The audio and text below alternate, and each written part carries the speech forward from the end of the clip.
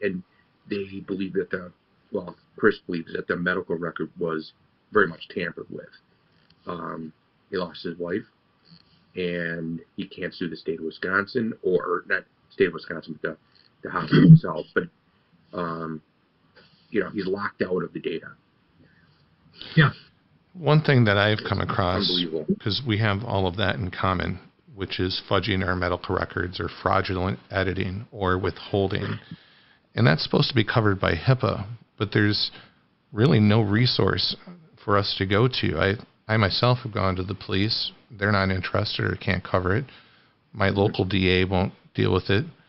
You know, this is a common theme. And I know that there's me- medical negligence and then there's criminal neg- negligence.